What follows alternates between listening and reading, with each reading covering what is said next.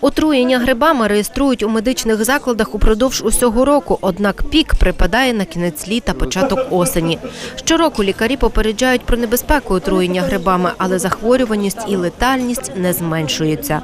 Саме у вересні, розповідають фахівці, гриби найшвидше вбирають важкі метали, радіонукліди і токсини. Якщо ви хоча б на відсоток не впевнені в якості грибів, його е, видовій приналежності не беріть.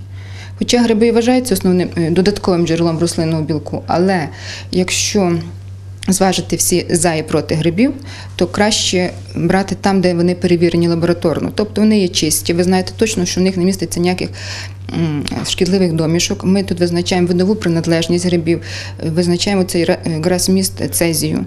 Тобто більш ви будете захищеними.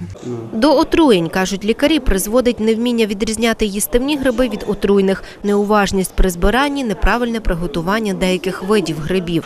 Ризиковано також купувати гриби на стихійних ринках. Фахівці радять краще це зробити у спеціально відведених місцях, де гриби проходять відповідний контроль. На тернопільському ринку торгують грибами, правда, невеликій кількості на самому ринку і в більшій кількості за межами ринку, оскільки там не, вони не проходять лабораторного аналізу. От, тому ми хочемо застерегти тернополян, щоб вони е, старалися купляти гриби, які пройшли ветеринарно-санітарну експертизу. Тому що на тернопільському ринку торгують в спеціально відведеному місці. От, і е, ці гриби вони вже пройшли аналіз і їх можна спокійно вживати. Сьогодні на ринках Тернополя за кілограм білих грибів просять в середньому 60 гривень, маслюків та косарів від 10 до 15 гривень за кілограм.